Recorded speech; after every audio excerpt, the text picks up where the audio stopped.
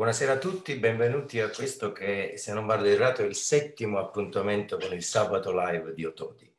E ringraziamo l'Otodi per la possibilità che ci dà stasera di parlare di un argomento importantissimo quale le fratture dell'estremo prossimale dell'omero, un argomento complesso e dibattuto a cui non abbiamo ancora detto la parola fine. Cercheremo stasera di dare qualche notizia in più e eh, è un argomento difficile perché è comunque una sfida che ogni giorno il chirurgo ortopedico, specialmente di spalla, deve affrontare eh, per classificare e diagnosticare correttamente e quindi scegliere il corretto trattamento di queste fratture. Allora stasera eh, chiediamo al professore Raffaele Russo, che vede inquadrato e che saluto, di darci qualche buona notizia, di darci un po' eh, di notizie positive, di chiarirci soprattutto le idee eh, su questo tipo di frattura, di darci qualcosa in più riguardo la classificazione e il trattamento, visto che eh, io che lo conosco da tanti anni, di cui godo l'amicizia e gli insegnamenti, so che ha dedicato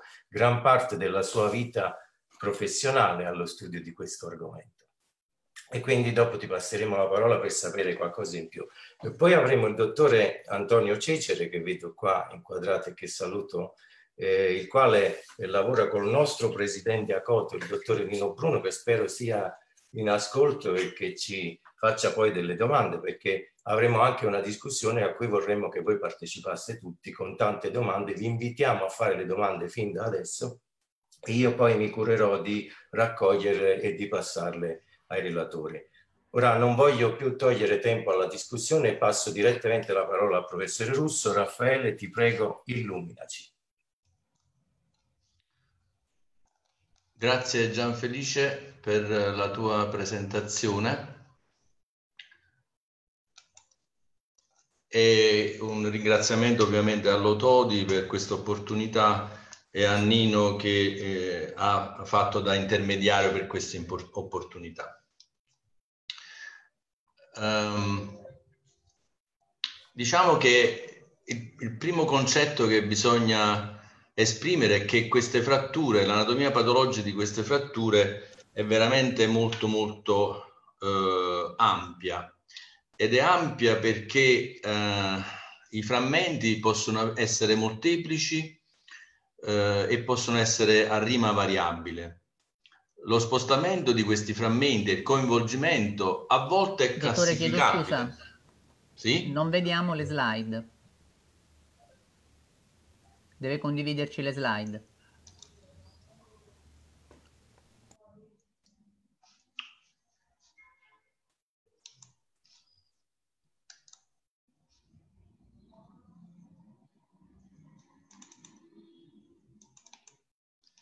La vedete? Sì. Ok, quindi dicevo il coinvolgimento e lo spostamento di questi eh, frammenti eh, a volte è ben visibile, ben classificabile, spesso invece non è evidenziabile molto eh, bene. E c'è un, un, aspetto poco conosciuto eh, che è la perdita dell'osso spongioso al di sotto della colotta, che avviene spessissimo nei, nei traumi ad ampia energia eh, e spesso avviene nei, nei casi di eh, osteoporosi. Poi c'è un aspetto di cui si parla, ma insomma non riusciamo ad oggettivizzare qual è la residua vascolarizzazione di questi frammenti. Quindi l'anatomia patologica incide in modo significativo sul trattamento. Eh, in questa recente survey fa, pubblicata nel 2019, la conclusione di questo studio, considerando che non c'è consenso nel trattamento conservativo e chirurgico, specialmente dopo i 65 anni, che il trattamento chirurgico rimane difficile, soprattutto quando c'è l'osteoporosi, non c'è consenso sui dispositivi da usare. E poi c'è una importante, eh, c'è un importante aumento dell'impianto delle protesi inverse in tutto il mondo, si raggiunge il concetto che esiste una scarsa conoscenza di questo problema. E in realtà, eh, diciamo, la letteratura ci ha insegnato eh, quello che ho cercato di sintetizzare in questa diapositiva, cioè che il trattamento dipende dal paziente, dipende dal tipo di frattura, dipende dall'impianto e poi dipende dal chirurgo soprattutto. Il problema è che quando noi parliamo di età e sue necessità, eh, diciamo, non vogliamo più vedere questo perché è un, un, un argomento molto riduttivo, cioè non è giusto che si veda questo tipo di risultati nei giovani, non è giusto neanche che si veda questo tipo di risultato nelle persone anziane. Quindi è importante, specialmente quando la bilancia pende dopo i 65 anni, di andare a validare le comorbilità, ma non l'età in senso, diciamo, anagrafico. Un altro aspetto che lascia molto perplessi è il concetto della suddivisione che viene utilizzato nella pratica clinica ancora per frammenti. Noi pensiamo che ci debba essere un concetto esteso in modo analitico, cioè dobbiamo capire che le fratture possono essere per esempio suddivise in questi due grossi gruppi, cioè non impattate e impattate il, il trade union di, di, tutta questa morfologia così ampia è la perdita di sostanza e la comminuzione dei frammenti articolari. La vascolarizzazione, cioè noi non possiamo più eh, eh considerare questi dati statistici di andare dal 3% al 68%, cioè la letteratura sotto questi aspetti sembra abbastanza ancora confusa e ancora, diciamo, eh, il concetto della ricostruzione col device da utilizzare, cioè noi da, dobbiamo dare una corretta indicazione e dobbiamo sapere utilizzare tutti i sistemi messi a disposizione per ottenere una ricostruzione anatomica, perché questo è il nostro goal, non è quello di insistere su un tipo o una tipologia isolata eh, di device da utilizzare in questi frammenti. In definitiva, insomma, in questa diapositiva ho cercato di eh, riassumere un concetto che potrebbe eh, toccare la critica di tante persone, ma è ancora sostenibile oggi la figura del traumatologo in generale. Cioè, queste due fratture sono due fratture a quattro parti, ma è chiaro che non sono la stessa cosa e non hanno eh, lo stesso comportamento anatomopatologico e non possono essere trattate al, allo stesso modo. Quindi, qual è il trattamento basato sull'evidenza? Negli ultimi dieci anni eh, l'evidenza scientifica dal punto di vista dell'epidemiologia eh, dice che non c'è una differenza funzionale significativa tra il trattamento operativo e quello non operativo. E questo è una simbiosi insomma, che si ripete nei, nei vari ehm, processi di studio con eh, i database a disposizione, cioè nella comunità scientifica si dice che la chirurgia non dà dei risultati eh, diversi, specifici eh, rispetto alla, al trattamento conservativo. Diciamo che una, eh, uno dei lavori che eh, ha eh, stimolato enormemente la critica alla chirurgia è questa survey portata su 348 ospedali, tutti del nord Europa, dove si vede chiaramente che eh, quello che noi utilizziamo eh, dà dei risultati, delle complicanze mh, altissime. Cioè, voglio dire, avere l'83% di una riduzione non anatomica di una, di una frattura, oppure avere il 73% di perforazioni delle viti eh, nell'articolazione, sono delle percentuali statisticamente non accettabili eh, per un, una, una, eh, il trattamento di queste fratture così complesse. E ancora che cosa dire su quello che poi eh, resta il, il, cavallo di battaglia di molti eh, chirurghi eh, ortopedici, traumatologi e non, e cioè che il trattamento conservativo ha risultati simili all'intervento chirurgico, indipendentemente dall'età e dai modelli di frattura.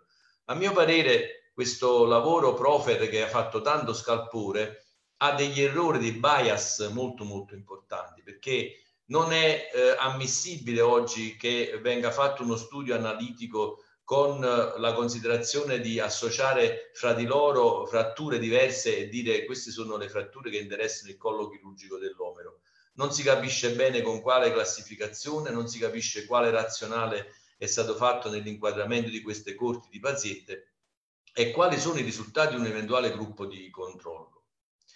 Oggi, insomma, queste sono due osservazioni mie personali. A questo paziente è stato detto che la frattura a due parti non veniva operata, ma doveva essere così perché sarebbe andato bene, ma nessuno ha valutato che qui c'è un'instabilità profonda eh, della frattura perché è una instabilità intrinseca e c'è una modificazione notevole della, del, della versione del, dell'orientamento della testa che poi ha dato adito a questo, lui già non muoveva quest'arto, non muove neanche il braccio destro, eh, oppure in quest'altro caso in cui praticamente è rimasto un vizio torsionale, questo è un paziente che ho seguito personalmente per tanti anni, che poi ha sviluppato una, una patologia artrosica.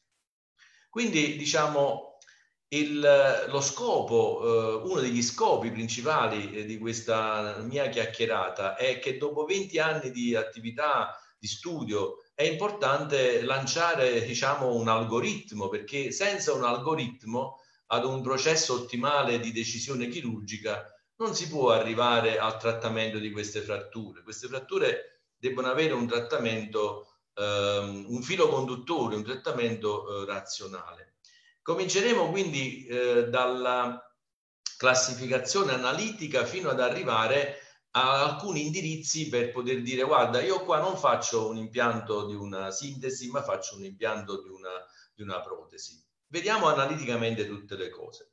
La letteratura, eh, diciamo, tutti, tutti noi, anche io nella dizione quotidiana posso fare riferimento alla classificazione di NIR. NIR è stato il maestro di tutti noi, però sono passati quasi eh, 50 anni, più di 50 anni da quando ha fatto la, la sua classificazione. E, e, anche qui la, l'affidabilità intra e interosservatore è, è bassa. Eh, quindi noi non possiamo eh, leggere ancora che pazienti sottoposti a riparazione di una frattura possono aspettarsi buoni risultati funzionali indipendentemente dal modello di lesione iniziale. Cioè, questo discorso deve essere un discorso com- completamente ammodernato. Eh, mi piace sottolineare eh, il grande valore eh, della, della, del lavoro di, di Ertel eh, sul concetto dell'ischemia e sul concetto di andare a vedere il calcar, i 7 mm del calcar. Però anche qui la, la sua classificazione eh, ha lasciato dei vuoti, pur essendo veramente molto interessante sotto l'aspetto dell'ischemia e anzi noi lo ringraziamo per questo grande lavoro che ha fatto. Così fino ad arrivare a, a, a, a Resch che eh, ha dato un grande contributo eh, sul concetto della frattura impattata e noi tutti, io personalmente ho imparato tantissimo dalle sue lezioni sul trattamento delle fratture impattate. Però eh, nella realtà eh, bisogna tornare a NIR per capire poi lo sviluppo ed è quello che io ho fatto eh, interpretando l- la sua affermazione che il, il punto chiave eh, del, di, di, capire o non capire eh, una frattura non è tanto il sistema classificativo in sé, ma la scarsa capacità che ha il chirurgo di interpretare e di vedere bene la diagnostica per immagini. Ecco, questa, questa frase che mi ha eh, da sempre colpito ehm, mi ha spinto, mi ha aiutato ad andare a cercare in tutto quello che in quell'epoca, all'inizio degli anni 2000, c'era una grossa critica alla capacità dei sistemi eh, 3D di poter andare ad aiutare il chirurgo, anzi si diceva addirittura che lo potesse, potesse alterare la visione, la potesse far vedere molto più grave. E vi spiego perché. Questo è per dare un, un, un, un, intento cronologico a quello che noi abbiamo fatto e al contributo che abbiamo dato all'evoluzione classificativa, che è partita dal 2012 e arriva fino a quest'anno, ma insomma parte dagli inizi del, del 2000. Eh, anche se questa non è, eh, è conosciuta, è riportata, ma non è vista, diciamo, con una pianificazione, come dire, nazionale e internazionale. È una classificazione che, che mi ha aiutato tantissimo e cioè che ha posto l'accento su un concetto molto importante che, ripeto, era l'evoluzione di quello che aveva sostenuto anche Ertel, e cioè che noi dovevamo fare un focus sul, sul quinto eh, frammento nascosto, così diciamo, abbiamo definito questo frammento, per andare a vedere come si accoppiava questa lesione con i vari frammenti. Questo già nel otto anni fa ci mise in condizione di poter fare una correlazione perché una classificazione per avere una validità deve poter dire eh, al chirurgo guarda se tu hai questa immagine hai questa classificazione puoi fare questo intervento chirurgico perché il scopo di una classificazione è quello di indirizzare di aiutare il chirurgo verso una decisione e noi pensiamo che questo ci ha aiutato moltissimo. Fino ad arrivare poi eh, a quello che abbiamo eh, portato avanti con, con, grande attenzione e, e che è eh, questa teoria del volume di controllo che io ho sviluppato insieme a un pool di ingegneri eh, utilizzando diciamo le visioni, la visione tridimensionale con l'intelligenza artificiale. Se voi andate a vedere eh, perché è bene eh, perdere qualche minuto su queste immagini. Questa è un'immagine che abbiamo costruito insieme agli ingegneri e quando io spiegavo loro la mia esperienza eh, con, ricordando diciamo, il tasto del pianoforte, io sostenevo che lì dove la maggior parte della forza torsionale si andava a sviluppare, abbassava il tasto del pianoforte eh, e quindi eh, il tasto produceva lo spostamento eh, della frattura. Ecco, questo era il concetto legato al cosiddetto volume di controllo, che non è nient'altro che un regolatore di posizione variabile a seconda della sfortuna del paziente. Questo era il concetto che io avevo espresso con parole, diciamo, ehm, generiche agli ingegneri. E gli ingegneri praticamente hanno sviluppato tutta quanta la valutazione, cioè quello che noi abbiamo dimostrato che con un modello analitico che nasce dal 3D è possibile andare a calcolare lo spostamento della testa in tutti i pazienti che noi analizziamo. E, e diciamo uno dei, degli outcome che è partito da questo studio analitico fatto su oltre 500 casi visti analiticamente dal modello 3D è che la testa si sposta ed è possibile variare e capire l'orientamento della testa in tre forme principali, cioè in vario, in valgo e in posizione neutra. Mai nessuno aveva posto l'accento su questo concetto che poi vedrete sarà anche importante per aiutare la decisione del chirurgo o dell'ortopedico a eh, indicare qual è la strada per poter arrivare a un trattamento paziente.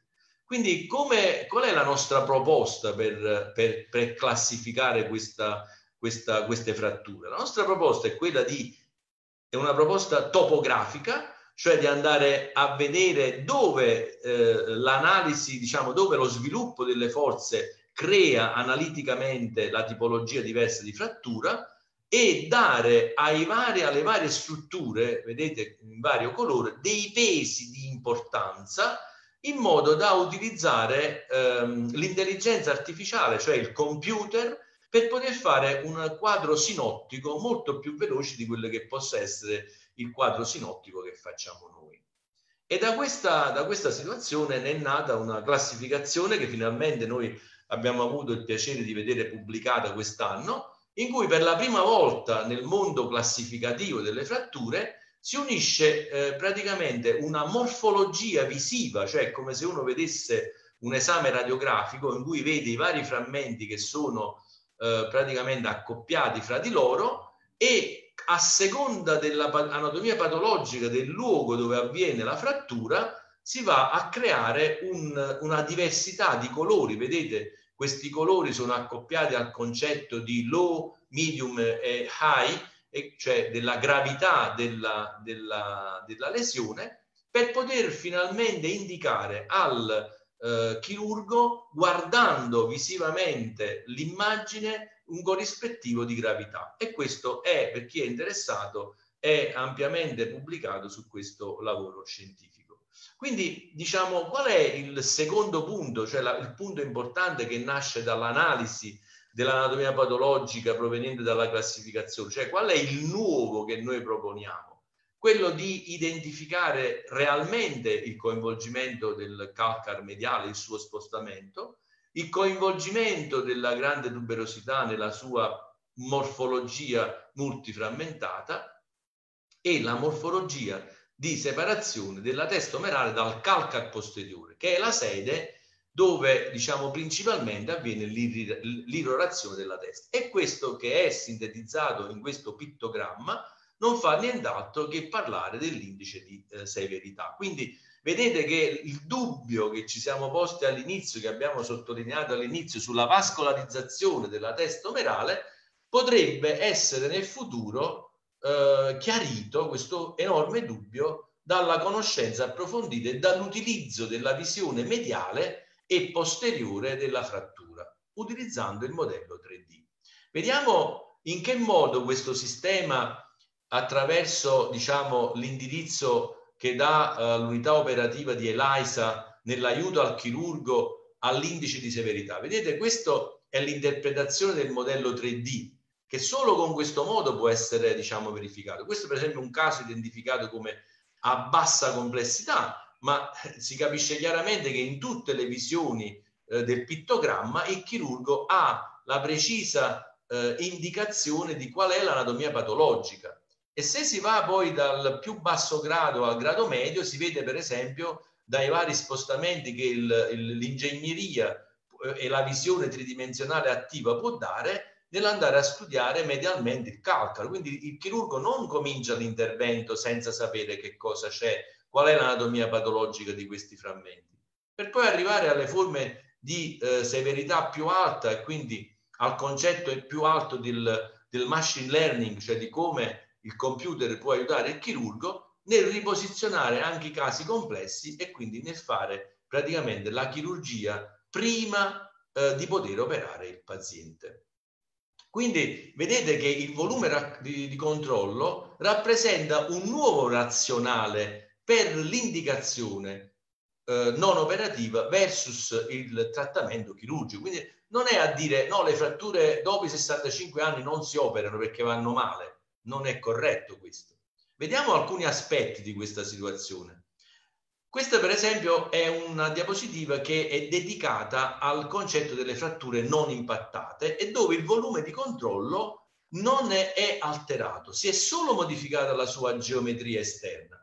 Andiamo a vedere per esempio questo caso a cui io ho consigliato una non operazione. Vedete, questo paziente è stato calcolato il volume di controllo che non è una frattura a tre parti, che non va a inficiare secondo i criteri espressi da questa classificazione la posizione neutra del paziente, della testa del paziente. Vedete come a distanza di tempo non solo la clinica sembra, insomma, c'è soltanto un piccolissimo difetto di intrarotazione, ma vedete come la testa è conformata molto vicina alla normalità, come è ben irrorata e come si è reintegrata un'altra volta rispetto ad una funzione molto vicina alla normalità. Vedete come il calcar ha cambiato il calcar distale. Perché è stato possibile questo? Perché noi con l'interpretazione del volume di controllo sapevamo che questa zona non era stata eh, oggetto di una patologia importante. Quindi vedete come anche nella decisione non chirurgica comincia a esserci un razionale. Questo è un caso, per esempio, a cui ho detto alla paziente, guarda, io penso che ti devi operare perché c'è un varismo, io ti ho calcolato il varismo. La paziente dice no, ma io non mi voglio operare. Certamente è guarita,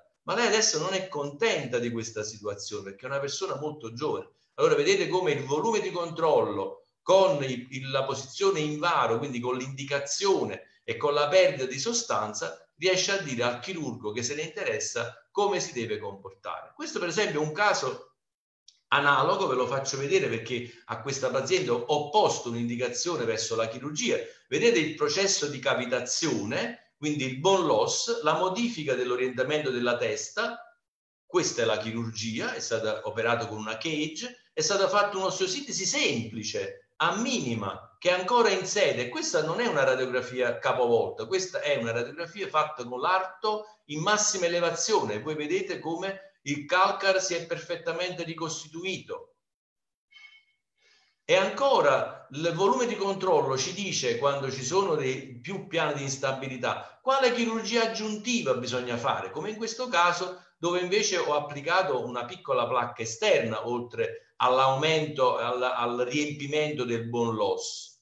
E vediamo poi al grande anziano, in quello che tutti ancora consideriamo frattura a due parti, considerate inoperabile, paziente con rottura della cuffia dei rotatori. Il volume di controllo ci dice che qui c'è non solo una perdita del calcar mediale, ma ci dice anche che c'è un buon loss importante. In questo caso allora viene questa chirurgia, cioè viene una chirurgia con uno strat non solo centrale, ma mediale e laterale, per ottenere questa ottima riparazione, guarigione in una paziente affetta da una paralisi ostetrica all'altro lato. Quindi stiamo parlando di una persona che ha superato i 75 anni e che ha una caftir arthropathy. Chi andava a fare una protesi inversa su questa frattura e con tutte le problematiche, come poi vedremo, che raggiungono oltre il 30% della casistica in questi casi. E vedete la chirurgia con il riempimento del volume di controllo non è l'unica cosa che noi pratichiamo. Questo è un caso in cui era indicato una, un impianto con un chiodo bloccato ed è stato fatto un chiodo bloccato con un recupero in una paziente sportiva di tutta la sua funzione. Mentre la stesso volume di controllo ci dice quando abbiamo eh, eh, una modificazione, quello che veniva stabilita nella vecchia classificazione di frattura a 3 e 4 parti, come risolvere il bon loss.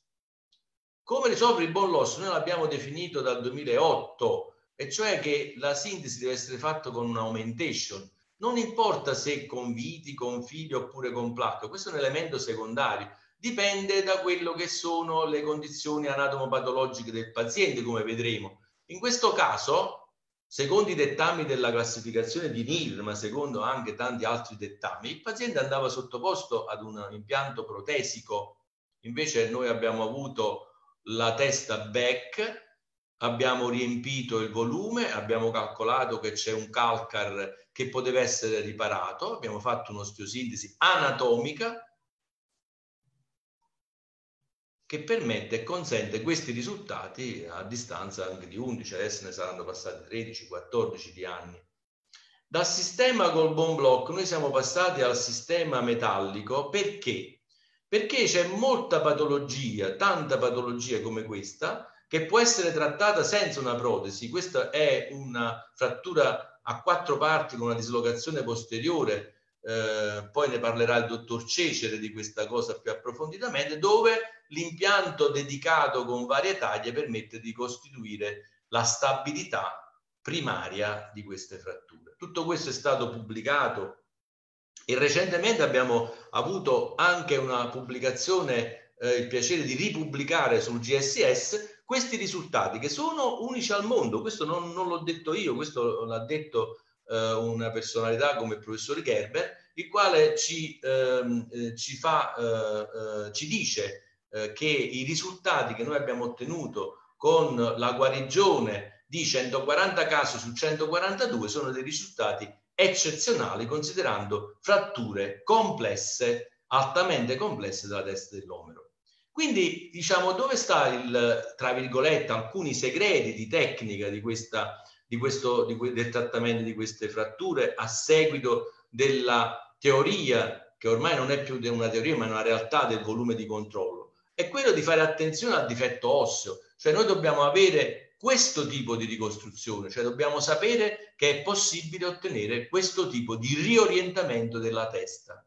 Vedete, questo è un caso che fa vedere come la tecnica consente dal, dalla quota della finestra arrivare alla parte endostale e correggere la deformità, correggere la deformità traumatica, riorientare la testa e ottenere degli ottimi risultati anche a questa età, con la sua TAC a 83 anni. Quindi non necessariamente protesi inversa.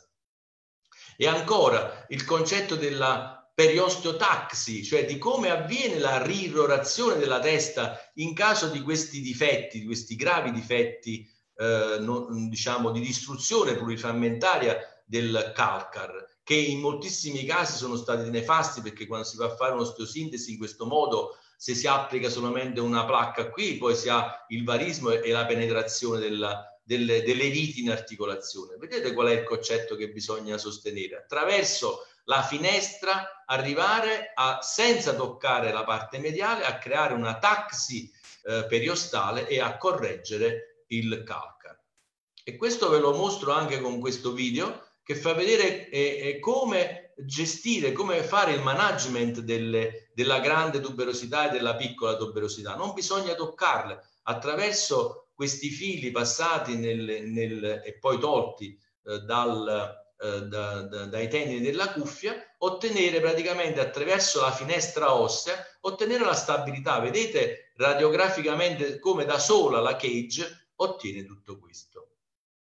E possiamo farvi vedere tanti altri casi complessi come questo dove il trauma si allarga staccando il gran pettorale. Vedete, il sistema è sempre lo stesso, anche se in questo caso ovviamente per la complessità bassa della frattura è stata impiantata una, una, una, una, placca a stabilità angolare. Ma il concetto è lo stesso, cioè quello di riproporre un'altra volta la colonna mediale. E mi piace farvi vedere questo video esplicativo perché è riferito a un paziente eh, del, del, dottor Gianfelice Trinchese, questo l'abbiamo operato sua, nel suo istituto, facendo prima una, eh, una eh, pianificazione con il metodo ELISA, cioè con il 3D eh, virtuale, in cui è stato studiato il difetto d'osso, è stato studiato il riposizionamento eh, delle, eh, dei frammenti ed è stato studiata la lunghezza delle viti e dove andavano. E questo è un video che riguarda la parte chirurgica. Eh, il dottore Trinchese ci teneva moltissimo a che io vi mostrassi questa, questa chirurgia complessa. Vedete il bicipite che si è incarcerato tra piccola tuberosità e la parte anteriore della diafisi. Ovviamente vedete che non abbiamo toccato nulla del periosteo delle strutture perché sapevamo già in anticipo dalla ricostruzione virtuale qual era la chirurgia da fare. Vedete delle fasi successive in cui si intravede bene il, la frattura verso il basso della grande tuberosità, il solco bicipitale, i fili eh, eh, impiantati nella, nel, nel, nella cuffia per poter gestire i frammenti senza eh, eh, devascolarizzare il, il periostio. E poi eh, alcuni eh, tentativi che eh, qui abbiamo riportato proprio per far vedere come da un punto di vista ehm, scolastico bisogna gestire eh, queste fasi, cioè una volta riorientati i frammenti principali, bloccare eh, con un sistema di eh, fili ehm, e poi guardare intraoperatoriamente l'avvenuta riduzione della frattura. Vedete qui è, è, chiaramente evidente il bone loss che si viene a creare eh, e eh, questa cage che in questo caso ha una particolarità. Vedete qui per dire questo, per dire che l'offset medio laterale ancora non era perfettamente ricostituito, quindi dovevamo ehm, spingere bene il, eh, diciamo, la cage contro eh, il calcar mediale fratturato per poter ricostituire praticamente l'offset medio laterale della testa. Il centro della testa, vedete qui ci siamo riusciti, il centro della testa deve essere più mediale rispetto all'asse anatomico eh, del, dell'omero. E vedete qui il phantom eh, della placca, questo è stato un modello avanzato che abbiamo ehm, pensato di ehm, utilizzare per i casi complessi di dove bisognava occupare poco lo spazio, questo sistema ha la capacità di poter orientare le alette a seconda dell'anatomia patologica eh, del caso in oggetto, come è avvenuto in questo caso, ormai credo poi il dottor eh, Trinchese vi darà ricordo di questa faccenda, e vedete la fase finale dove siamo certi che abbiamo ricostruito, mancato, manca, malgrado la mancanza del calcar nella sua parte anteriore, la stabilità di tutto il sistema. Man mano che si tolgono i fili di Kirchner, poi è possibile eh, fare la, la, la, sintesi della piccola tuberosità con la parte posteriore e vedete come il bicipite che non è stato sezionato scorre perfettamente nel suo alloggio e come l'anatomia è stata di nuovo ricostituita. Di questo caso possiamo darvi anche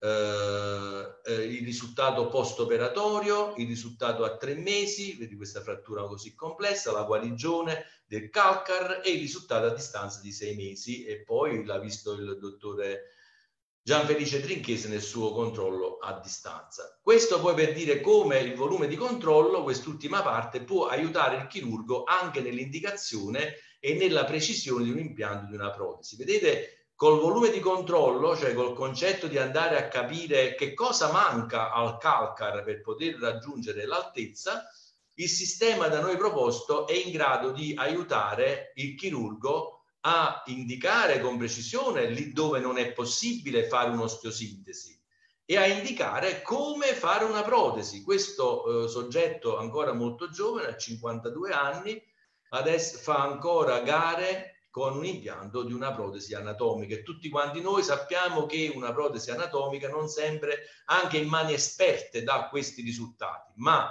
se la cosa viene programmata su un computer e poi viene applicato sapendo prima quali sono l'entità dei frammenti, la grandezza, l'orientamento, l'altezza del calcar che si è distrutto, il risultato può essere ampiamente positivo. Quindi dov'è che noi andiamo oggi nel trattamento delle fratture della testa dell'omero? Andiamo verso l'intelligenza artificiale, cioè andiamo verso la necessità di guardare in modo tridimensionale e automatizzato le fratture prossimali omerali. In conclusione di questa carrellata si potrebbe ancora parlare per, per molte ore di queste problematiche perché mi è stato affidato un, un, un, un ampio campo di, di, di presentazione e di discussione, cioè che il trattamento resta molto impegnativo, che è importantissimo l'uso, analitico, non possiamo più pensare per frammenti, e quindi ci deve essere una medicina di precisione che noi dobbiamo andare a proporre al paziente. Bisogna fare una fissazione stabile perché, come abbiamo visto in tutti questi casi, il periosteo e le strutture vascolari residue possono migliorare dei fattori prognostici cruciali. La fissazione della placca stabilità angolare, che tu, di cui tutti parlano oggi, è un metodo, offre un metodo di validità, ma non è l'unico presidio da utilizzare e il riconoscimento, a nostro parere, la nuova classificazione che proponiamo con la valutazione del volume di controllo può aiutare l'impianto non solo nelle protesi anatomiche, ma anche nelle protesi inverse delle fratture. Ecco, questa è la mia presentazione e vi ringrazio per l'attenzione.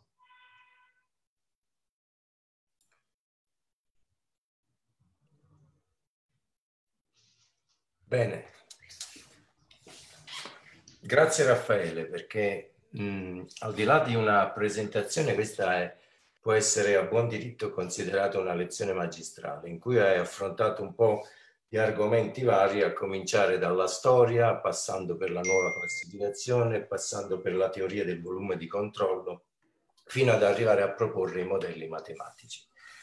E quindi mi sembra una prima considerazione che tu eh, praticamente hai operato una, una, rivoluzione nei concetti che noi avevamo nella testa. E, e, quindi ci poni in una condizione di dover pensare a una ricostruzione di una frattura di spalla in maniera diversa da come eravamo abituati. Lo stesso trattare i frammenti senza scheletrizzarli, rispettando i tessuti molli, perché è da lì che viene, che viene la guarigione. Ma eh, ti volevo chiedere una cosa, se questo è vero, come è vero, perché io l'ho vissuto insieme a te, quindi posso confermarlo, salta per prima cosa il concetto dell'età. Cioè non, non, dobbiamo più pensare a una frattura a quattro frammenti in un paziente anziano, oltre 70 anni, ci andiamo a mettere direttamente la protesi perché potrebbe essere, studiandolo bene con il tuo modello matematico, andiamo a capire se possiamo ricostruire il volume di controllo e la protesi gliela evitiamo. Quindi volevo che tu chiarissi bene sì. questo concetto che modifica totalmente il modo di vedere di queste fratture. Sì, diciamo che una quota della mia presentazione era appunto per dare questo messaggio, cioè non tutte le persone anziane, che eh, voglio dire anziane, Oggi si vedono delle fratture trattate a 63 anni con delle protesi inverse e le si vedono, diciamo, su frattura a due parti addirittura. Questo non è corretto perché una frattura a due parti può, può guarire benissimo con una chirurgia aperta e con una ricostruzione sapendo questa instabilità della testa da, da che cosa proviene. Ma può, come avete visto, guarire anche una frattura a quattro parti. L'età non è una controindicazione per la chirurgia ricostruttiva. Il problema è la conoscenza approfondita della classificazione della frattura. I modelli matematici che ho, che ho proposto, che sembrano delle situazioni astruse, sono solo delle situazioni, diciamo, da condividere e questo, diciamo, eh, rappresenta per me, per esempio, un motivo ulteriore della mia presenza con piacere questa, su questa piattaforma, cioè quella di mandare un messaggio e che prima di eh, sostenere in modo approssimativo, guardando soltanto una radiografia, eh, una frattura in una persona che ha 70 anni, non partire così spiazzati dicendo vabbè questa o non gli faccio niente oppure le faccio una protesi inversa.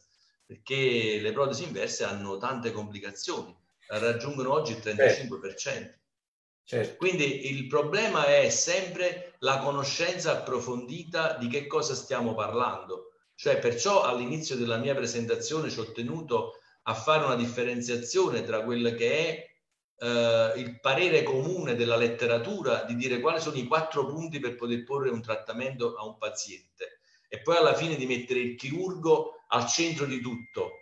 Ma non è così, cioè è una situazione che parte dalla conoscenza classificativa della frattura per arrivare all'indicazione. Cioè il processo di induzione verso il trattamento deve essere un processo ragio- razionalizzato, ragionato Ecco, um, stanno arrivando le domande, quindi io ti vorrei già rivolgere la prima. È una domanda che ci fa il dottor Angelo Del Buono, che è un amico e che salutiamo. E la domanda è questa. In una frattura a quattro frammenti, ritenete che il fattore prognostico peggiore sia il numero di frammenti, la scomposizione degli stessi o l'interruzione del calcar mediale?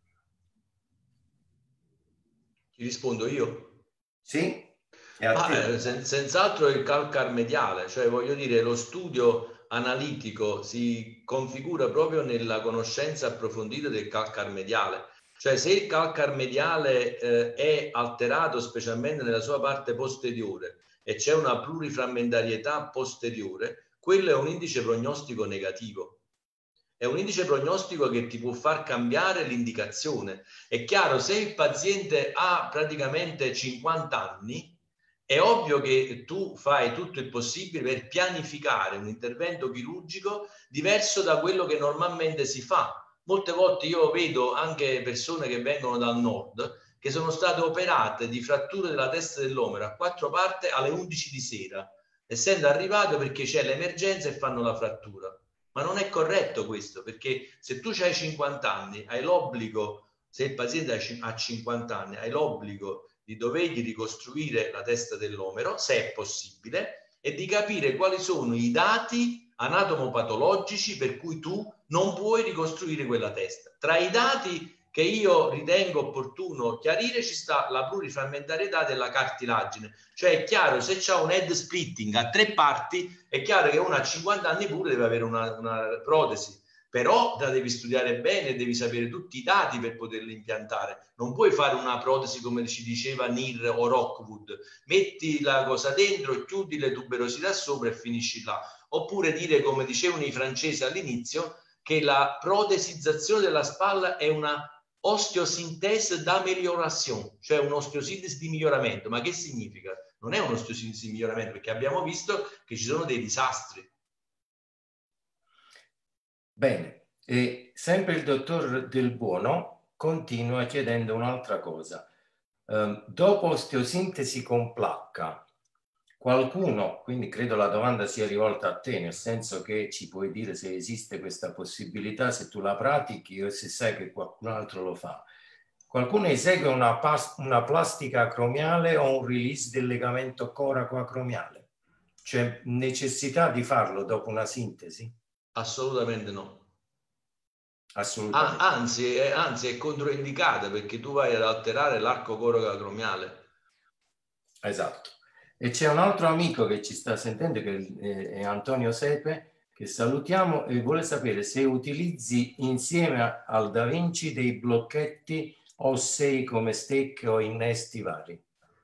Insieme di solito, di solito col Da Vinci, quando utilizzi Da Vinci no, a volte ho utilizzato delle paste così per vedere come andava, ma non, non, non c'è una differenza significativa. Eh, è chiaro che se io utilizzo un Da Vinci a 35 anni eh, e, e, c'è una distruzione, una perdita del, dell'osso spongioso, ho fatto anche del prelievo della cresta iliaca per poter utilizzare, ma del, dal paziente per un problema biologico, ma non diciamo di osso di banca oppure di sostituti d'osso.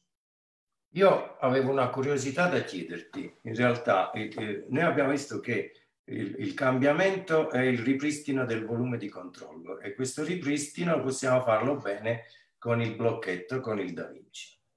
Ma mi incuriosiva, eh, il Da Vinci è l'ultima cosa che è venuta fuori no, da tutti i tuoi studi, ma quando tu hai iniziato non usavi il Da Vinci, quindi mi incuriosiva l'intuizione senza volume di controllo, senza eh, modelli 3D, senza avere, diciamo così, ELISA a disposizione. Come ti è venuta?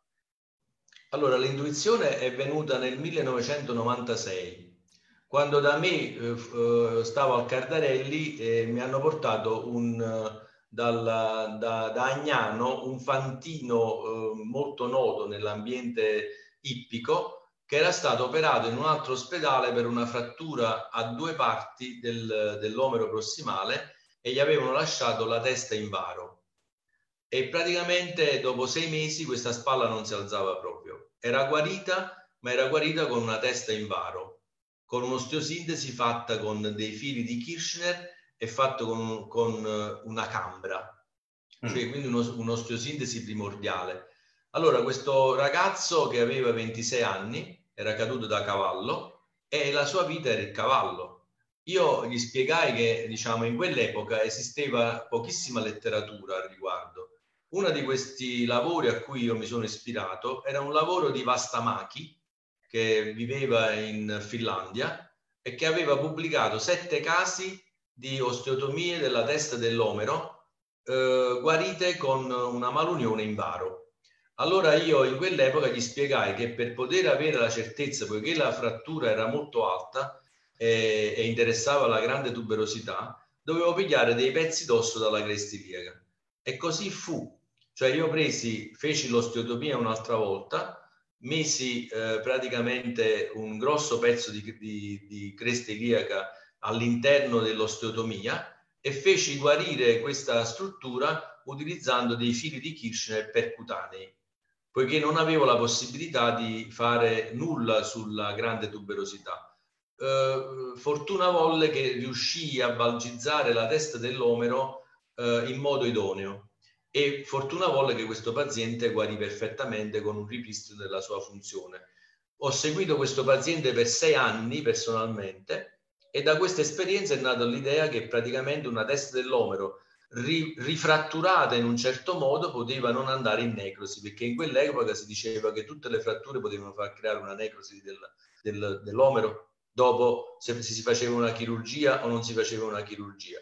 Questa era la conoscenza dell'epoca e da questa esperienza è nato il concetto del bon loss e del ripristino con, con il blocchetto d'osso. Grazie Raffaele. Allora continuiamo con le domande perché nel frattempo è arrivata quella del nostro presidente Acoto, Nino Bruno, che salutiamo ancora, e dice quali sono invece le indicazioni per le protesi anatomiche o endoprotesi nelle fratture? Io adesso ho limitato tantissimo l'indicazione in una protesi anatomica, cioè per me resta quello, cioè se c'è una distruzione del volume di controllo e nella classificazione del pittogramma che abbiamo visto l'indice di gravità è altissimo e c'è una testa che praticamente è fratturata in più parti o la cartilagine alterata nella sua struttura per qualsivoglia motivo, allora in questo caso io metto una protesi, ma ti dico che mentre nel passato facevo due endoprotesi all'anno, adesso faccio zero endoprotesi all'anno. Cioè voglio dire, il sistema endoprotesico oggi io lo utilizzo solamente se la testa omerale ha un head splitting non riparabile. Ma nella maggior parte dei casi io ricostruisco sempre, anche perché se poi diciamo va male, nulla osta a protesizzare nel modo in cui tu vuoi questo sistema, adesso, in particolare con una protesi inversa in questo caso. Adesso ti, ti completo questa domanda di Nino. Se tu decidi di mettere una protesi su una frattura, qual è la tua decisione che ti fa dirigere verso la endo o verso la protesi totale anatomica? Ma nella, nel, anche se c'è qualcuno nel mondo che utilizza protesi eh, anatomiche totali, cioè glena e omero per le, per le fratture. Io ritengo che questa, diciamo, questa decisione è un qualcosa di raro. Nella mia pratica clinica non ho messo mai un'artroprotesi totale di spalla anatomica per una frattura.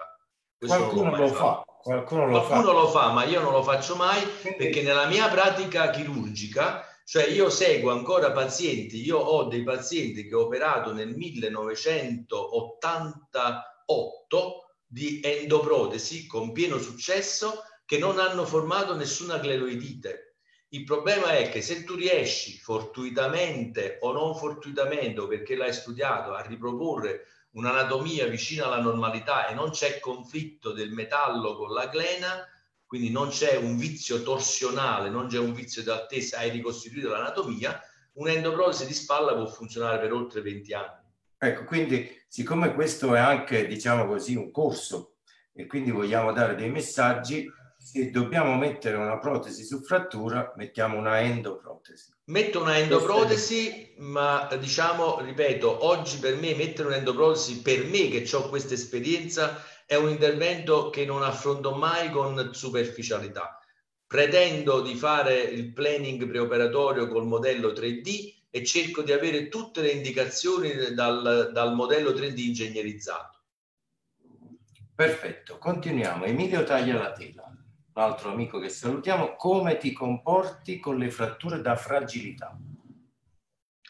Nelle fratture da fragilità, eh, diciamo, io vado a vedere eh, in modo sistematico la storia del paziente. Se il paziente ha una storia di ipofunzione della spalla perché ha una lesione della cuffia dei rotatori oppure ha una situazione, eh, come dire, legata a, a delle, eh, dei fatti funzionali pregressi che, eh, per cui la spalla non aveva una funzione piena, eh, io dopo i 70 anni in questi casi faccio una protesi inversa ma solamente se io sono certo che c'era una storia pregressa. Se io trovo al tavolo operatorio una cuffia normale e ho studiato bene il paziente, io faccio una riparazione perché la riparazione nel modo in cui abbiamo eh, chiacchierato funziona.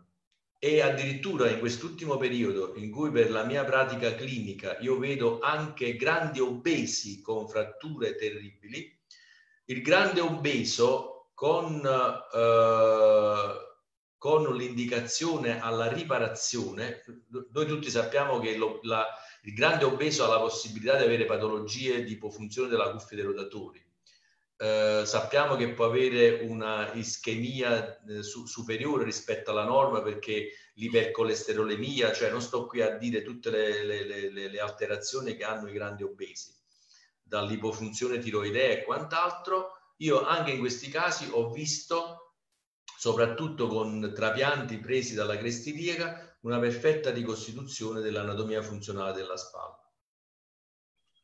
Quindi un altro messaggio diamo, cioè che non curiamo solo una radiografia, ma un paziente, quindi ci interessa il suo progresso, la sua storia, le sue esatto. condizioni e poi decidiamo che tipo di, di intervento. È chiaro, se io, se io al tavolo operatorio trovo che c'è per esempio un bicipite che è ipertrofico, perché ho un bicipite che ha una degenerazione lamellare, è, è chiaro che io mi, mi, pongo l'idea e dico, ma se questo, questo paziente ha a 72 anni una situazione di questo genere, significa che ha un'ipovalidità della cuffia dei rotatori, perché altrimenti non avrebbe un bicipite così ipertrofico. E allora è chiaro che con tutta una serie di situazioni legate all'anatomia patologica, ritorno sempre a Bovo, cioè vado sempre a guardare la pluriframmentarietà del calcar, la pluriframmentarietà della grande tuberosità, cioè gli elementi, i pesi specifici sono rappresentati da questi dati oggettivi che sono,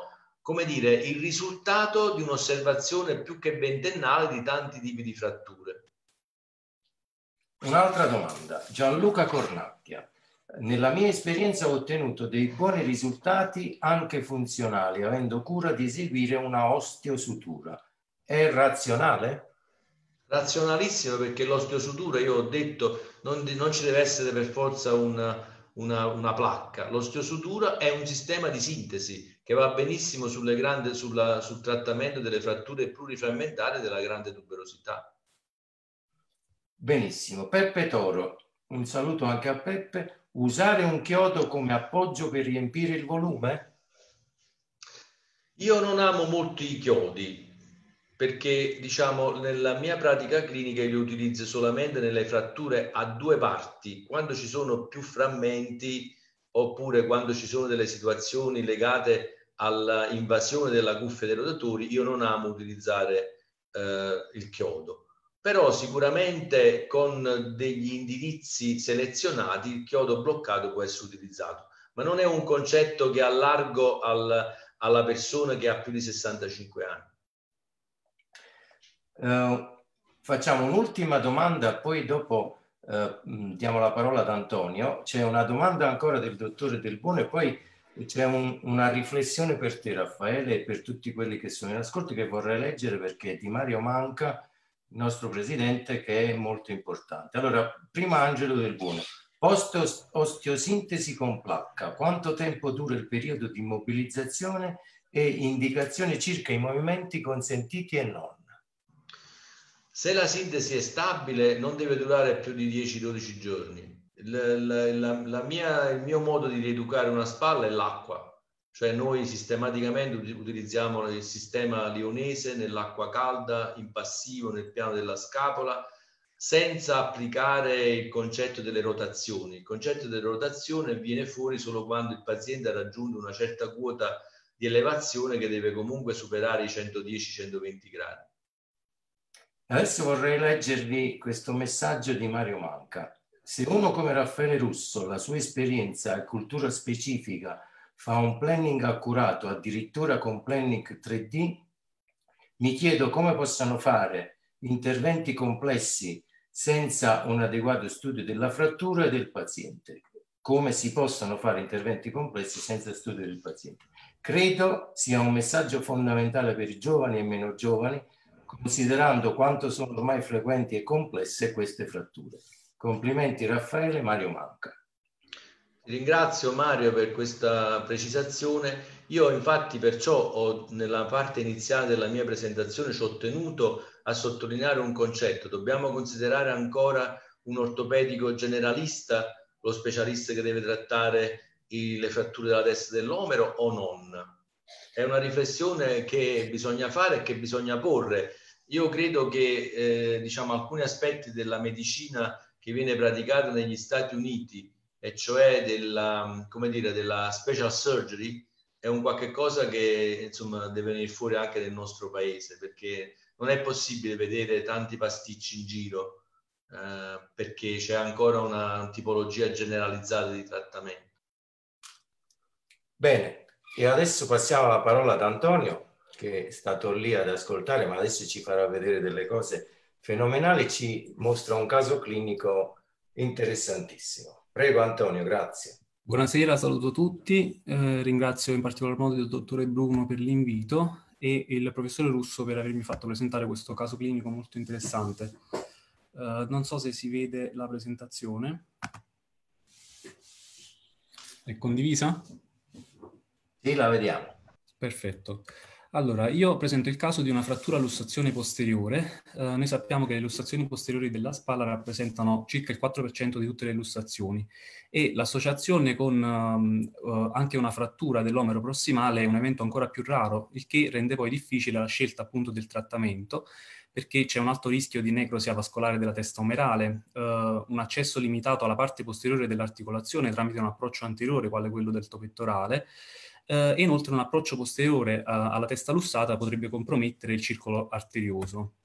Uh, il caso in questione è un maschio di 66 anni, uh, diabetico, che presenta una frattura a quattro parti con lussazione posteriore, head splitting, frattura omolaterale dell'olecrano dell'arto superiore destro, con associato trauma cranico.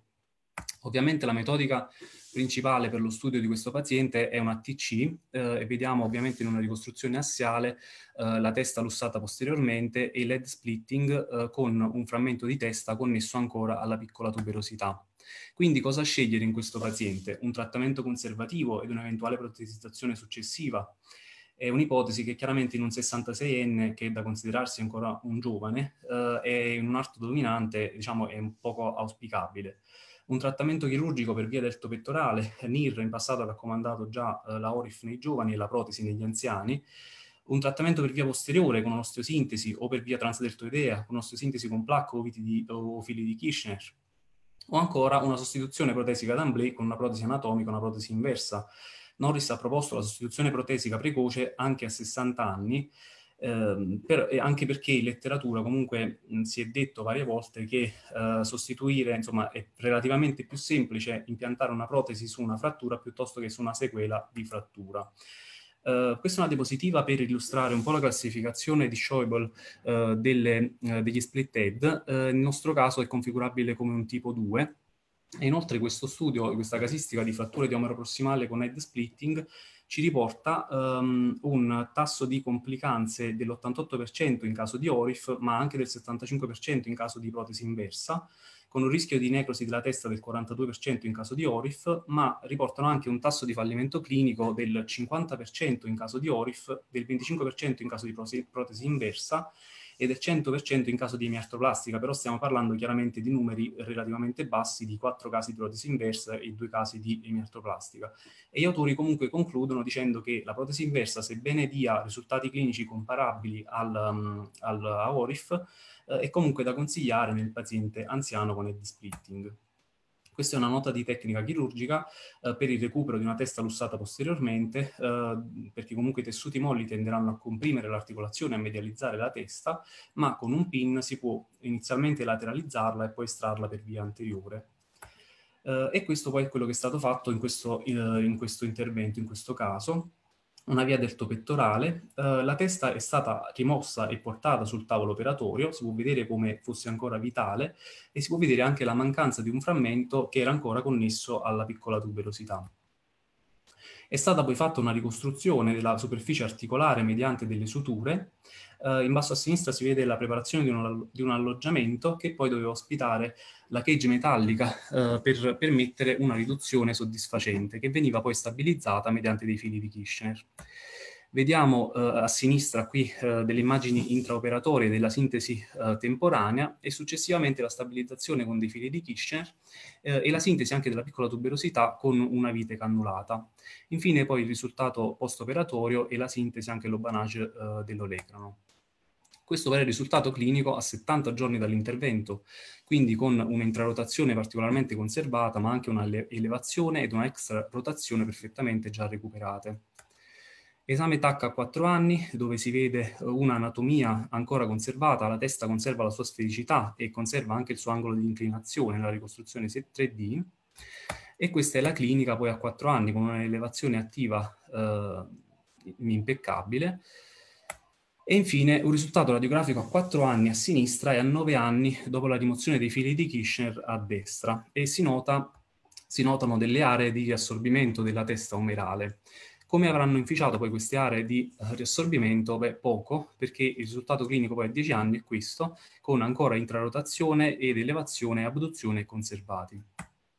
Quindi potremmo dire che l'età superiore ai 65 anni potrebbe non essere una controindicazione al salvataggio della testa umerale, che la via di accesso anteriore permette una chirurgia agevole anche nelle fratture con lussazione posteriore, che una sintesi minima con soprattutto però un costrutto centrale endostale permette una ricostruzione mediante una sorta di artroplastica biologica, perché la creeping, la creeping substitution consente una vitalità delle teste anche in caso di head splitting e che le parziali osteonecrosi della testa che si osservano in tutti i casi non determinano spesso dolore e non limitano la funzione. Infatti questa tecnica è stata eseguita in 18 pazienti con frattura lussazione anteriore e posteriore nell'arco di 15 anni e la necrosi si è vista solo in tre casi in ogni caso però nessun paziente ha chiesto di intervenire con una protesi di spalla eh, e quindi in conclusione possiamo dire che questa è una tecnica che va presa in considerazione, va studiata eh, e poi bisogna renderla applicabile e soprattutto riproducibile un po' da tutti quelli che si occupano di spalla. Grazie.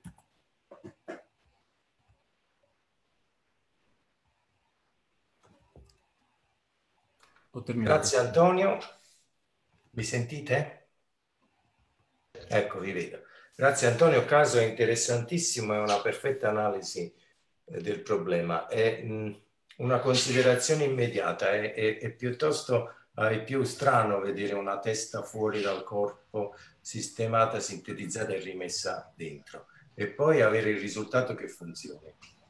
Io volevo chiederti che impressione hai avuto da questa situazione che è assolutamente eh, non, non, normale, non, non consueta, ecco, non consueta. Sì, beh, allora l'impressione chiaramente fa specie vedere una testa omerale che viene portata su un tavolo operatorio e viene reimpiantata, però eh, io credo che comunque 18 casi non siano pochi, eh, con solo 3 necrosi totali, Um, e questo probabilmente è l'indice che la testa omerale viene rivascolarizzata uh, non solo dal, dalla preservazione uh, delle, di quelle che sono le arterie normalmente presenti, ma anche mediante fenomeni appunto di creeping substitution e quindi di rivascolarizzazione mediante una sintesi che deve essere stabile ma anche elastica, uh, quindi con il costrutto centrale che ci ha fatto insomma vedere il professore Russo negli anni. Io, se posso dare la mia, la mia esperienza, perché questo giochetto, chiamiamolo così, Raffaele Russo me l'ha insegnato a fare. E quindi mi è capitato di dover fare questa cosa in, in 3-4 casi, in cui la testa era completamente staccata, c'erano delle parti da sintetizzare con le ostesuture, come abbiamo visto, e in qualche caso il risultato è stato buono come quello che hai fatto vedere, qualche altro caso meno, meno favorevole, ma erano tutti soggetti giovani, quindi eh, era, era, doveroso provare a fare questa cosa. Ma un dato certo è che io ho avuto anche per pochi casi, poi mi sono confrontato con Raffaele e lui ha la stessa impressione, è che i pazienti non sono stati più rioperati, anche quelli che non andavano bene nel senso del recupero totale della funzione della del movimento non hanno avuto necessità di essere operati perché l'elemento che manca in questi casi è il dolore, anche se radiograficamente eh, la situazione non è piacevole, è una radiografia non bella, il paziente ha una certa funzionalità anche a volte soddisfacente ma senza dolore, al contrario di come capita in molti casi di pazienti sintetizzati con le placche. Ora volevo capire eh, sia da te che soprattutto da Raffaele qual è la vostra sensazione e considerazione riguardo a, questa, a questo problema? Sì, la mia sensazione, poi lascio la parola al professore Russo, è che comunque eh, la teoria che ci ha illustrato prima del volume di controllo, ma soprattutto l'importanza che ha dato poi negli anni eh, al calcar ehm, e alla stabilità dello stesso, alla persistenza dello stesso o alla ricostruzione dello stesso, eh, siano fondamentali non solo per rigenerare e mantenere una riduzione, eh, ma anche poi per, per, la stabilità del sistema che poi può portare a una guarigione che automaticamente o quasi sempre ci, è senza dolore. È chiaro che se poi c'è una, una scomposizione evidente, eh, la frattura guarisce ma può dare comunque dolore. Poi lascio la parola al professore Russo. Bene, Raffaele. Che... Gianfelice, io penso questo, che eh, le, la, lo, la capacità di riorientare la testa secondo una torsione omerale anche in presenza di una non perfetta orientamento tridimensionale nello spazio dà la possibilità di un appoggio sulla glena. E quello che non fa avere dolore è sia questo riorientamento anche se ti ripeto nei casi in cui c'è una sofferenza vascolare importante perché per esempio la testa è rimasta forse in valgo eh, o in varo eh, dei gradi di più di quelli che l'organismo riesce a sopportare.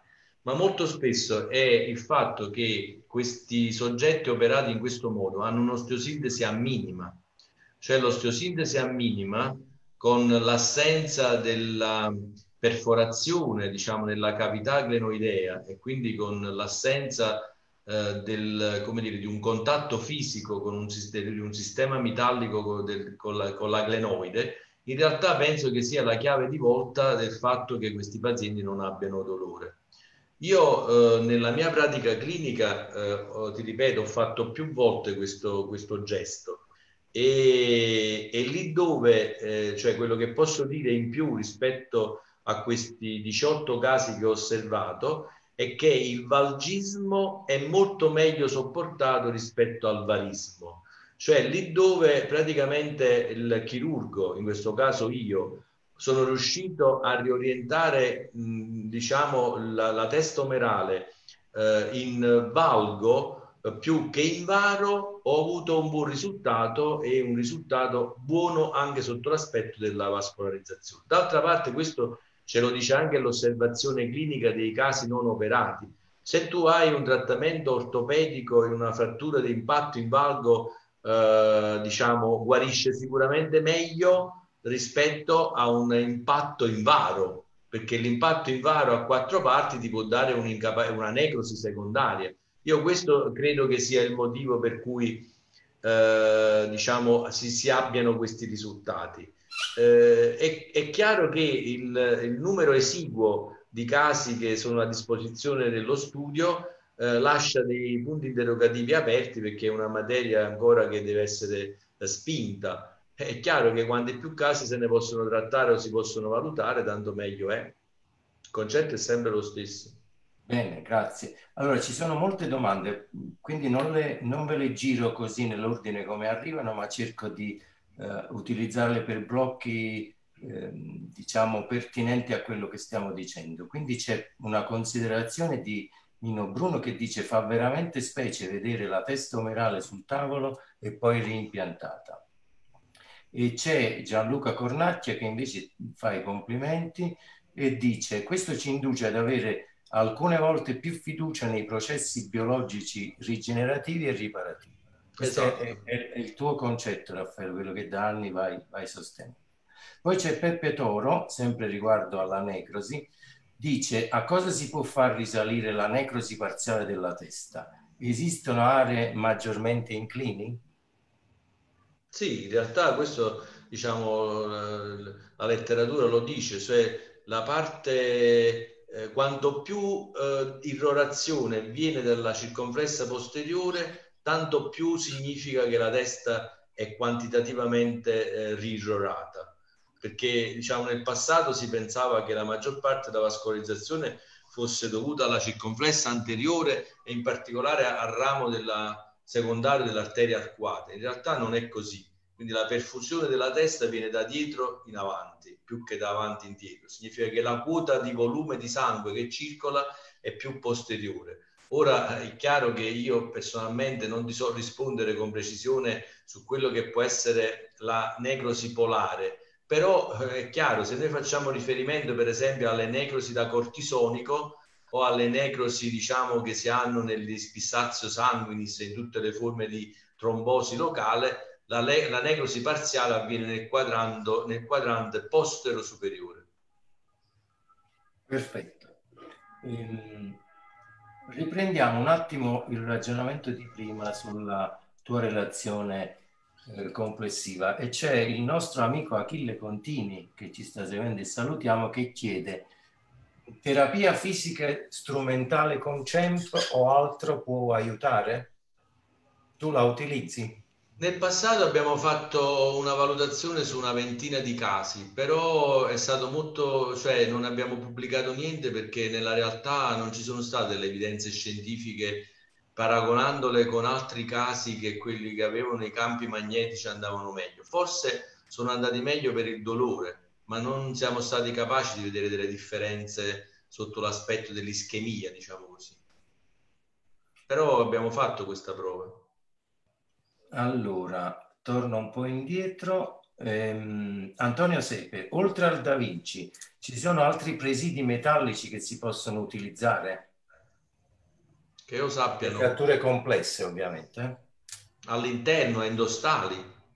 No, che io sappia no. Negli Stati Uniti hanno adesso messo in commercio, diciamo, un sistema co- con una rete di Ninitol, ma io ho mandato una lettera di protesta al GSS perché diciamo, noi abbiamo il patent di questa cosa. Michele Pianese che fa due domande, ma le inverto, ti faccio prima la seconda che è più pertinente a quello che stiamo dicendo. Il concetto di stabilità è garantito da placche con a stabilità angolare, ma non quello di elasticità. Eh, la sintesi a minima a volte è preferibile laddove si è provveduto a ristabilire il volume con una cage, come nel caso illustrato dal dottore Cesare, Cosa ne pensa dei fissatori esterni anche dopo riduzione cruenta?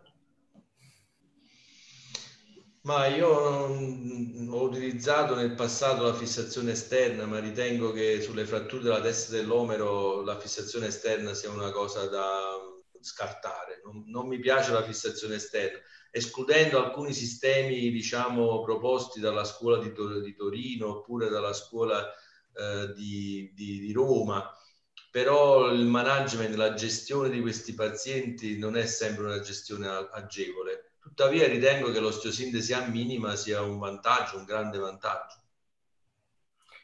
Uh, Nicolò Galvano, allora nella ricostruzione della testa omerale è preferibile una ricostruzione in valgo nelle fratture difficili come salvataggio? Assolutamente sì, meglio guarire, meglio ricostruire in varo. Stiamo sempre parlando di una frattura perché il concetto è sempre lo stesso quando noi facciamo una domanda, ognuno di noi dovrebbe fare riferimento allo specifico tipo anatomopatologico di lesione. Comunque nelle fratture X a quattro parti, eh, cioè dove il volume di controllo manca dal lato della grande tuberosità, perché dobbiamo cominciare a ragionare in questo modo, una correzione che mantiene in valgo o in neutro va meglio rispetto al varo e ve l'ho dimostrato in quel caso eh, clinico lasciato così. Quella è una frattura che tante persone avrebbero operato con una protesi o avrebbero operato perché era scomposta. La decisione di non operarla nasce proprio da questo concetto, cioè lì il piano, eh, cioè la chiave di volta è il, il fatto di aver visto che la testa dell'omero manteneva la sua posizione. Perfetto. Eh, un'altra domanda, Giacomo Enrico. Eh, una quota di vascolarizzazione può derivare anche dalla parte mediale della capsula articolare?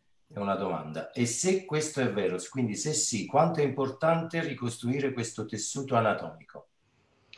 Allora, eh, una delle, delle, cose in più che ho capito con il modello 3D è che quantomeno, cioè se c'è una scomposizione già della testa eh, e quindi il periosteo mediale è stato diciamo insultato, è chiaro che a seconda dell'anatomia patologica, cioè se io ho studiato prima e so che è così, io meno lo tocco e meglio è, perché lascio alcun, un microcircolo locale.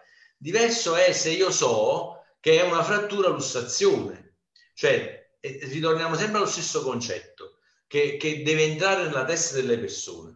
Allora, la frattura analiticamente è impattata o è disimpattata? Cioè la domanda deve essere fatta in questo modo, perché è da lì che nasce il concetto del, del preservare la vascolarizzazione. Non è più il concetto dei due, due, frammenti, tre frammenti, perché abbiamo visto che il concetto di due non esiste. Cioè non ci sono fratture che possono essere assimilate a un concetto 1, 2, 3 e 4, sempre lo stesso. Non è così c'è una grande variabilità e questa variabilità la si studia solamente col modello tridimensionale, quindi impattata, non impattata.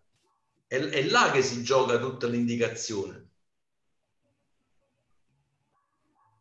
Bene, c'è una domanda di Antonio Siano che saluto, che però terrò per ultima perché c'è anche un'implicazione, diciamo, di tipo amministrativo, quindi la lasciamo per ultima. Adesso però ritorniamo alla prima domanda dell'amico Michele Pianese il quale dice, la cerco, il prof ritiene che l'accesso deltopettorale sia il migliore per esporre la frattura o anche il transdeltoideo ha la possibilità di curare adeguatamente la riduzione, specialmente del calcar? È una domanda mai, sugli accessi. Io non ho mai utilizzato la via transdeltoidea se non quando si tratta di una frattura complessa isolata della grande tuberosità. Se decido di fare un accesso, diciamo, transdeltoideo, ma solo in quell'occasione è, è sempre limitato. Recentemente la maggior parte di queste fratture le, le faccio per via artroscopica.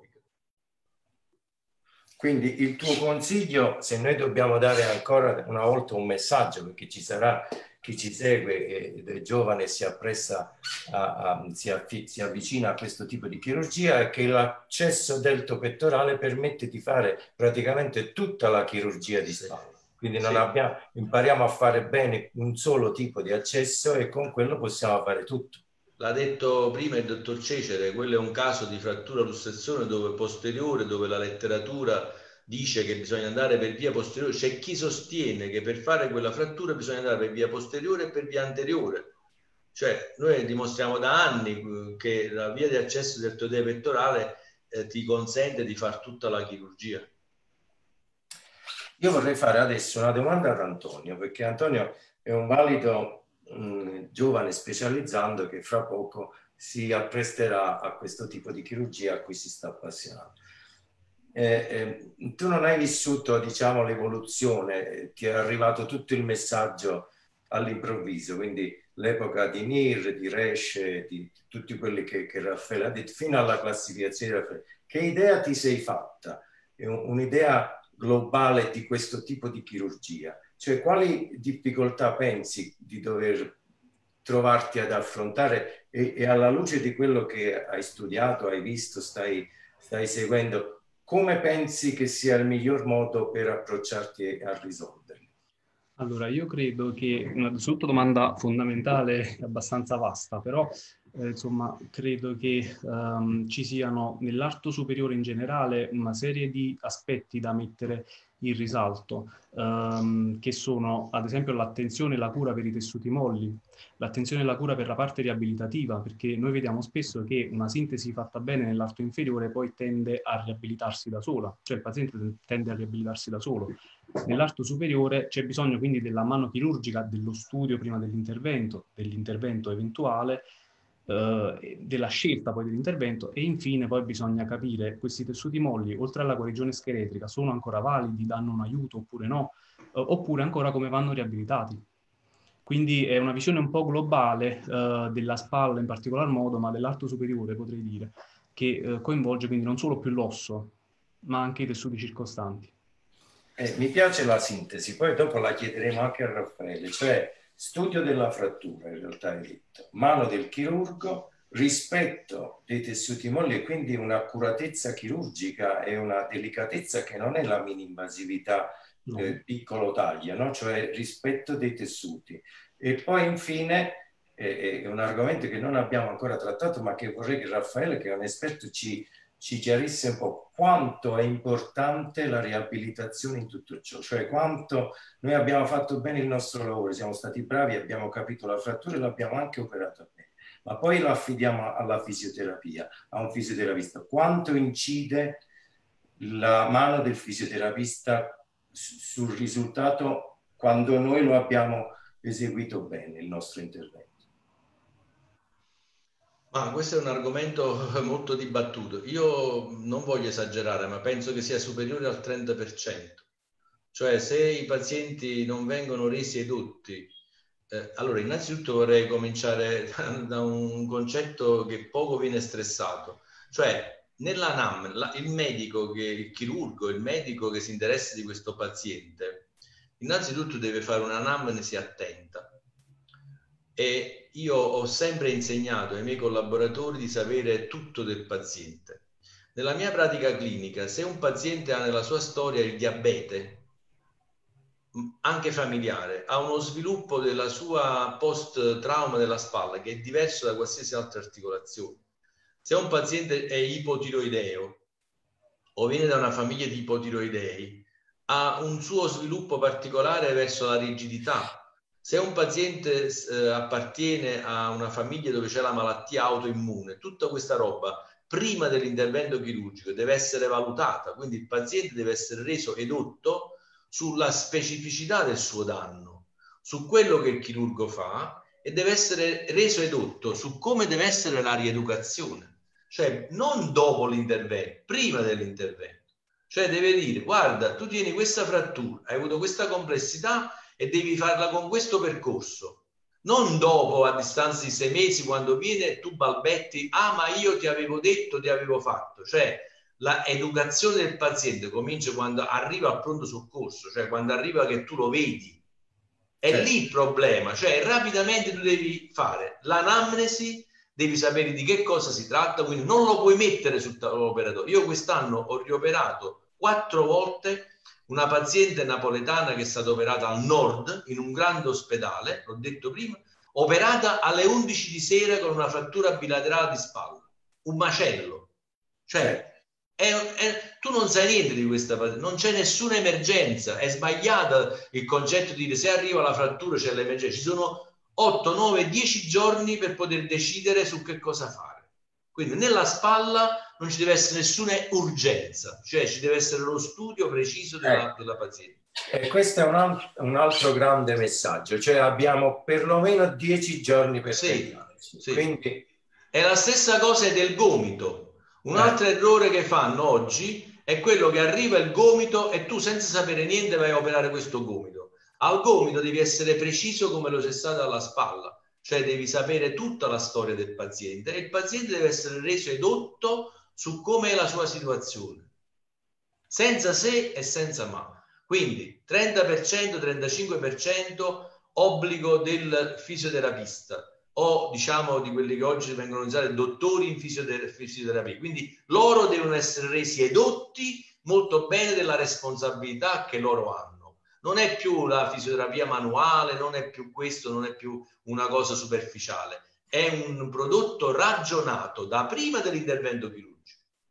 Il problema poi a questo punto è la comunicazione fra il esatto. chirurgo il fisioterapista o l'equipe di riabilitazione, certo, certo, spesso certo. non viene a mancare. Assolutamente. Non puoi affidare un malato di spalla con una frattura a uno che non ha, mai, non ha mai seguito un intervento chirurgico sulla frattura di spalla, non sa che cos'è. È una cosa assurda, impossibile tu hai detto intervento ragionato, quindi percorso ragionato, cioè certo. si va in sala operatoria come atto finale, cioè abbiamo certo. già progettato. Io, certo. certo. Per esempio, nessun architetto si sognerebbe mai di costruire una casa senza averla prima progettata. Molte volte ed è, una, ed è, ed è come, è come tu sai dalla tua esperienza, perché io ho condiviso questa esperienza con te, c'è una grande soddisfazione nel vedere che certo. tu non sei costretto ad allargare la ferita non sei costretto ad andare a vedere dove sta il frammento, cioè tu non lo devascolarizzi. È chiaro che quando hai cincischiato per un'ora là avanti lì, è chiaro che non trovi più niente perché sono piccoli frammenti. E, cioè è una chirurgia, questa qui è una chirurgia. Una domanda che vorrei fare io. Um, come affrontate, perché comunque uh, nel caso che ho presentato io, ma in molti altri casi di frattura di omero prossimale c'è un notevole rischio di necrosi avascolare, ah, comunque il rischio c'è, rimane, Uh, e noi stiamo puntando a ridurre le protesizzazioni forse, non so, inappropriate e quindi ad aumentare il numero di sintesi. Come affrontate poi il discorso a tu per tu con il paziente, il consenso informato, uh, sapendo che c'è un rischio di necrosi e quindi il paziente potrà essere spaventato da un secondo intervento? Ma guarda, io, io, io nella mia pratica clinica il concetto di uh, necrosi lo spiego molto molto bene e lo spiego con delle parole semplici, cioè tutte le fratture della testa dell'omero quando avvengono hanno un'ischemia. È come l'ischemia cardiaca, ok? Allora, l'ischemia cardiaca non fa morire tutti quanti, fa venire a chi un infarto che poi insomma dei seri problemi, a chi non fa venire nessun danno vascolare, a chi fa venire delle cose di mezzo, per cui c'è bisogno della chirurgia, delle, quindi spiego in questo modo. Allora, tu hai avuto un'ischemia, questa ischemia è più o meno grave. Da questa ischemia ne può uscire fuori nel futuro una struttura necrotica della testa, ma il fatto che uno dice 3% o 68% per me, per, nella mia pratica, è una bufala, cioè non puoi andare a dire questo. Tu dici questa è a grosso rischio di ischemia, noi faremo delle cose chirurgicamente che cercheranno di riparare l'anatomia e sarà l'organismo stesso ad andare incontro a questa guarigione. Non va incontro, nella mia pratica clinica, cioè nella mia esperienza, non supera il 5-6%, non supera. Cioè non sono così alte fino al 68%. Il 68% riportato in letteratura è il frutto di tutta quella documentazione di mancato riorientamento della frattura rispetto a quello che è la meccanica della spalla. E questo è il problema su cui io voglio insistere. E questo lo si ha soltanto non per scienza infusa, perché ognuno di noi ha una capacità tridimensionale al tavolo operatorio, deve venire fuori da un'automazione. L'intelligenza artificiale può aiutare il chirurgo a capire questo problema. Questa è la chiave di volta, io penso, per il prossimo futuro. Bene, allora, noi siamo in, in, conclusione, poi non so chi mi dirà quando dobbiamo chiudere. Io continuo perché ci sono domande. Mauro Longo fa una, un complimento, è stata una lezione magistrale da rivedere prima di affrontare il trattamento di queste fratture complesse. Nino Bruno dice, quindi condividete che oltre al chirurgo debba essere specialista anche il terapista? Ovviamente sì, l'abbiamo più volte sottolineato, tanto più che adesso si chiamano dottori. Quindi certo. Devono essere assolutamente specialisti. Um, volevo tornare, ah, poi c'è Angelo Boccia che sicuramente eh, Raffaele conosce perché dice tratto i pazienti del professor Russo da 30 anni, lo ringrazio da fisioterapista per la descrizione precisa dell'intervento chirurgico. Um, questo mi ha molto aiutato a evitare danni da riabilitazione. Quindi qui entra un altro concetto. È bene che il fisioterapista ogni tanto vada a vedere il chirurgo cosa fa, così si rende conto e gli sarà più utile durante la riabilitazione. Ma non sempre questo avviene da altri chirurgi e questo è un problema. Quindi eh, da qui, dalla parte dei fisioterapisti, esce il desiderio di collaborare anche in sala, vedere cosa il chirurgo fa. Questo certo. mi sembra importante, bisognerebbe implementare anche questa cosa. E poi la domanda che ho tenuto per ultima probabilmente è quella dell'amico Antonio Siano, il quale dice che suggerite per facilitare l'implementazione di un sistema diagnostico 3D in un reparto generalista. Qui si riallaccia a quello che tu Raffaele dicevi prima, no? il generalista, il, lo specialista, eccetera. E poi aggiunge simpaticamente non rispondete, mi cambiate gli amministratori. che dici Raffaele? Ma io dico quello che ho detto prima, cioè per me non, non esiste più un pronto soccorso generalizzato. In ogni unità operativa ci devono essere, cioè se si vuole mantenere un'unità operativa, eh, ci deve essere diciamo una subspecialità tra i componenti che fanno questa chirurgia.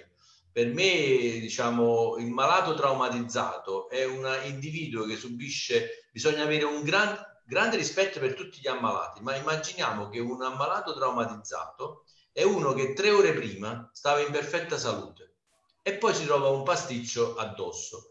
Da questo pasticcio ne deriva tutta una serie di situazioni, spese che lo Stato, perché la traumatologia è appannaggio dello Stato, quindi tutta una serie di spese che lo Stato fa per questi pazienti. Io credo che l'era prossima è un'era che non può essere più determinata dal concetto radiologico del trauma, deve essere correlata da da una, dall'intelligenza artificiale, cioè noi non possiamo fare a meno di alcune capacità di sintesi che vanno verso l'automazione, perché il nostro cervello, per quanto è capace, plastico, eccetera, per poter arrivare a certe sintesi ci mette molti anni, molti anni, molto tempo. Allora noi dobbiamo considerare che questo mezzo deve essere messo a disposizione della chirurgia.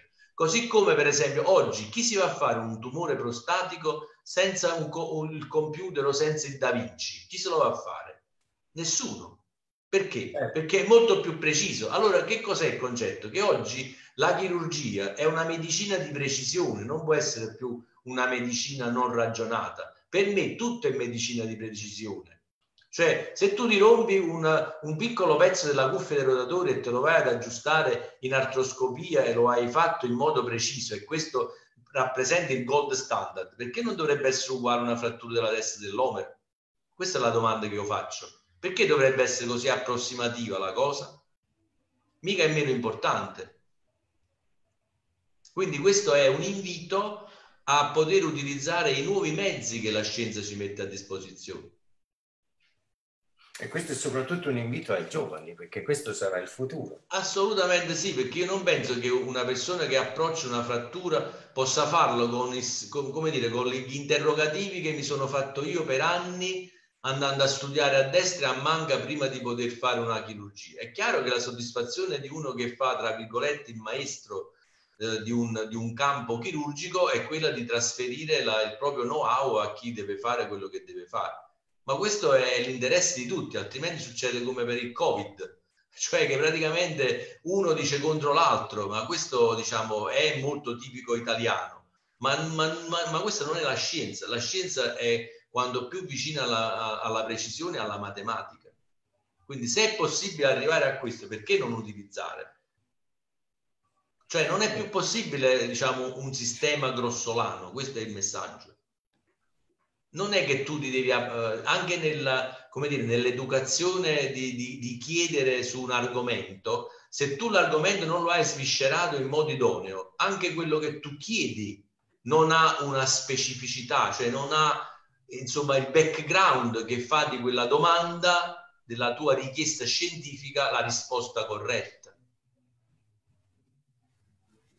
Io guardavo l'orologio e vedo che il tempo a nostra disposizione è, è, è finito.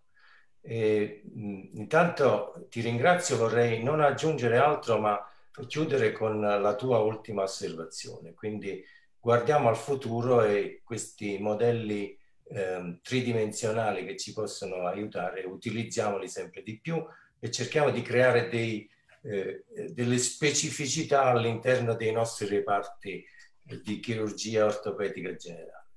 Io ti ringrazio molto perché questa è servita a me innanzitutto, ma credo a tutti quelli che ci hanno ascoltato perché è stata veramente una lezione magistrale e, e, e di questo ti dobbiamo solo ringraziare perché da no, sempre... Io che, ci... che ringrazio voi per la pazienza. E grazie anche ad Antonio per la precisione e puntualità del caso clinico e anche delle osservazioni che per un giovane sono, sono grandemente importanti. Io saluto tutti, ringrazio chi ci ha seguito fino a quest'ora di sabato, dedicandoci il tempo e togliendolo a loro stessi e alle loro famiglie e spero che questa, questa eh, riunione di stasera sia stata utile a tutti noi.